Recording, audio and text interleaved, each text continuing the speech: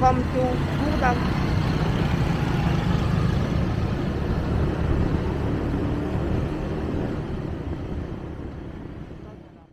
Xin chào tạm biệt quý vị và các bạn.